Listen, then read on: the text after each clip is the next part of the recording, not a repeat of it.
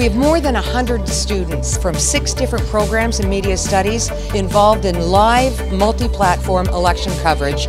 It's uh, the first time some of them have worked together and they're doing it the way it's really done in real life. We've been working on our script for the last hour or so, which has been good. We have a rough outline, sort of a skeleton of what we're working with, but really because it is up to the minute updates on what's going on out there, we're really relying a lot on the team that's out in the field and here in the newsroom to bring information as it comes in and then get it to us as quickly as possible.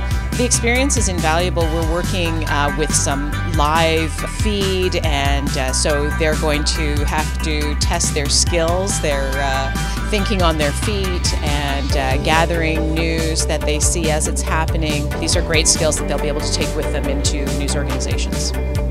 It's really immersing yourself in an environment where you can jump into something, have live news come at you, deal with problems on the fly, really learn in a fast-paced environment and communicate with your peers and your faculty to really get an idea of what it's like in a real newsroom. This is a live-to-tape election special utilizing the facilities of BRTV and their mobile production class, as well as the journalism students.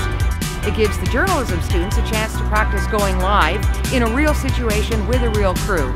And it gives the BRTV students the chance to switch to direct, to have live talent, and to produce and package a professional quality program within the Humber milieu. We just set up different cameras to have different reporters and interviewers that are going to be talking about what happened for the election that happened last night.